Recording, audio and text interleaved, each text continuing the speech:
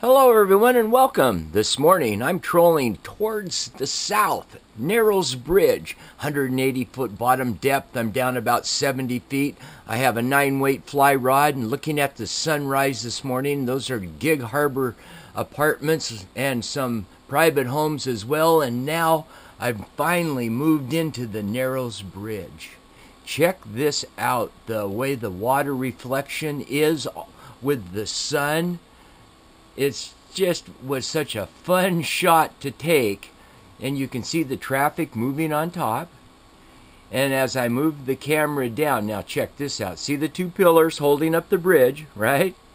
Now when I bring the camera down and take the reflection off the water you will see the same shot but from the water side. And I thought I would share this with you because I think this is pretty cool and if you're somebody out there that likes to do video, please feel welcome to grab this and have some fun with it. Because now you're seeing the pillars again, but this time off of the water. Yeah, no cars upside down though.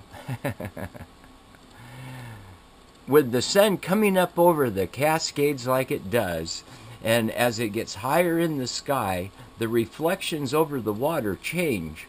And it's exciting to be out on the water when it's glassy like this. Oh, you can't beat it. And when I get one on, whoo hoo hoo!